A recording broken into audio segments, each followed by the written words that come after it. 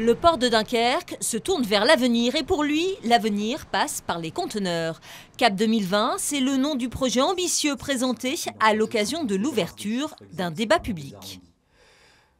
Ce projet, c'est en deux phases, hein, de pouvoir euh, réaliser la continuation du ce qu'on appelle le bassin de l'Atlantique, qui est notre terminal conteneur actuel, de lui ajouter 1000 euh, mètres de quai une première fois, 1000 mètres de quai une deuxième fois, des terminaux de 60 hectares chacun, avec deux postes à quai.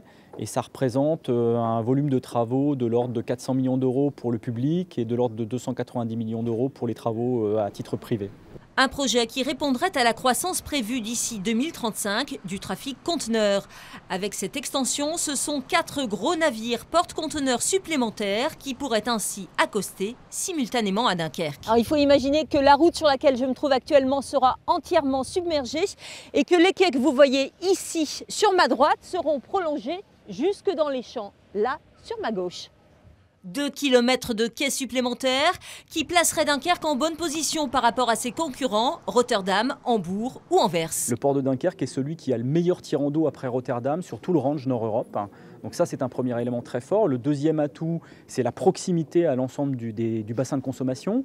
On compte 80 millions de personnes dans 350 km. Et surtout, le port de Dunkerque a un atout très fort, c'est qu'il est le premier port ferroviaire français. Un projet de développement pour le port et le territoire des Hauts-de-France, 16 000 emplois générés.